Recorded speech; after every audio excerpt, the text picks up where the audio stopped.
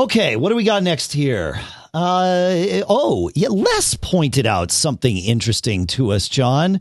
Les says, um, have you noticed that all Apple TV remotes have the volume controls on the right side as you look down at them, where every other remote in the world has the volume control on the left side?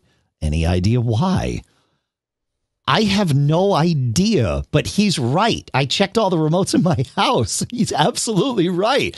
Like, what is it with Apple and this stuff? Like, why did Apple decide that remotes would have like need to be switched? I don't get it. Mm-hmm. Let us know. Feedback at macgeekgab.com if you have the answer. Mm-hmm. You heard him. Feedback at macgeekgab.com.